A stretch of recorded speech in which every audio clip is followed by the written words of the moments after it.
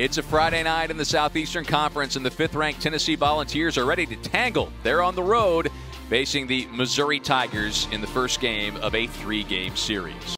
Juniors and seniors playing and starting, that's where you see that success start to take off. Strike three call to strike out for Halvorsen to begin his day. Getting in communication with your other teammates and being able to take charge of that. 3 2. That is cranked into left field. Deep off the bat of Kiefer, and a solo shot to give Missouri a 1 0 lead. His second home run of the year. And talk about consistent approach day in and day out. It pays off that time for Andrew Kiefer.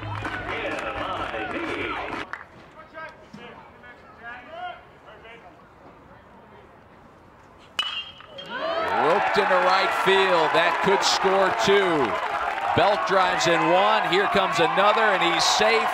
A two-run single for Brant Belk, and it's Missouri who's coming up with the timely hits early in this one.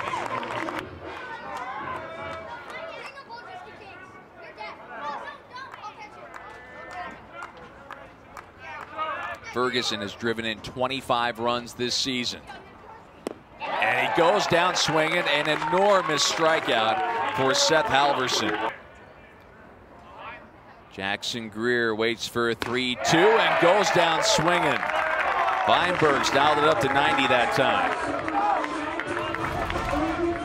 This is a big time strikeout for Weinbergs. Comes back after not getting the call in the outside corner, goes right back to it. Big, big pitch right here. And he got him swinging. So Weinbergs comes back to get a huge strikeout. Is uh, a Texas A&M having a lead. That's down the line from Brant Belk into the corner. Could be extra bases. Throw comes in from right field, and he's in there. Leadoff double by Belk, who's at third base now. The 0-2 to Kiefer. Fights it off. Fair down the line.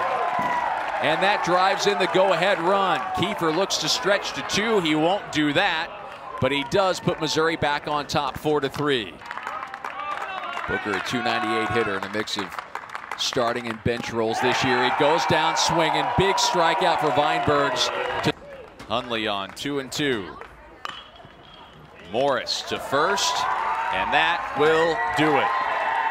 A come from behind win on Friday night for the Big Orange. 5 4 the final in the first game of this series.